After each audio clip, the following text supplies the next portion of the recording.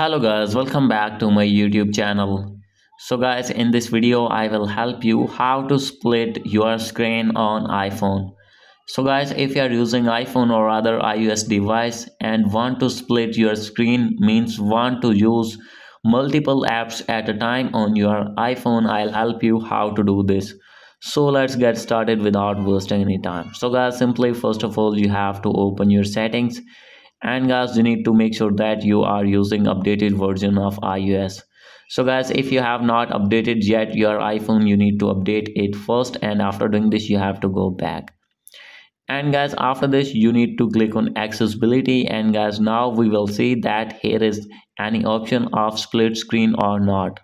So guys now you can see here is not any split screen option. So guys when i am going to click on general then guys now you will see here is not split screen option as well. Picture in picture in available is but split screen not available.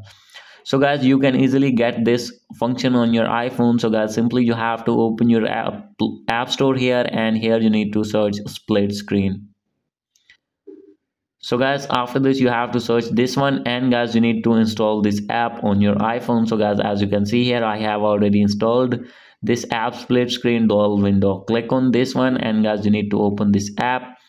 And guys now you will see here that you will be able to use split screen. Now you can see for example i am going to open youtube here.